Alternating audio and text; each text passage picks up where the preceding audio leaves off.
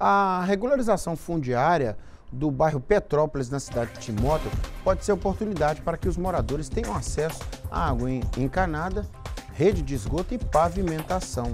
Um sonho aguardado há 40 anos, mas que está para sair do papel com a regularização fundiária. A reportagem está aqui, pode balançar.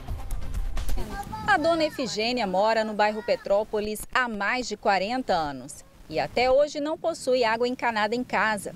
O esgoto não é tratado e a rua onde mora não tem asfaltamento. Aqui a gente está precisando de asfalto, entendeu? Um copasa. Como que vocês fazem com relação à água, ao esgotamento sanitário? Aqui é, é poço e a fossa. E para a senhora essa questão da regularização dos documentos, do imóvel, qual que é a importância, a importância que a senhora enxerga nisso? Não, é bom demais, minha filha, porque cada um tendo na mão, né? Aí o bairro, quem sabe, passa a ser mais valorizado. O bairro Petrópolis é um antigo loteamento que surgiu há mais de 50 anos. Em 1979, foi completamente destruído durante um deslizamento de terra e o local perdeu toda a infraestrutura. Para tentar resolver o problema, a Prefeitura de Timóteo pretende dar sequência ao programa de regularização fundiária.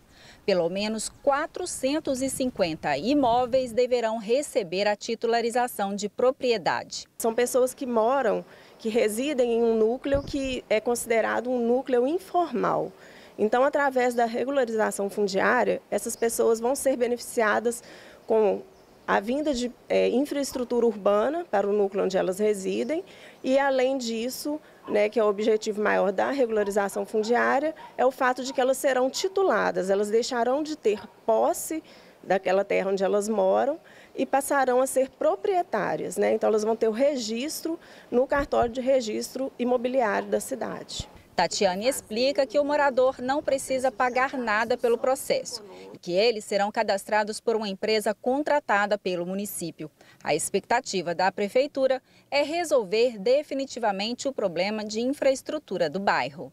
Ali no Petrópolis a gente tem a expectativa de 50% ou mais da população ter uma renda familiar abaixo de cinco salários mínimos. Então, isso configura uma regularização fundiária de interesse social.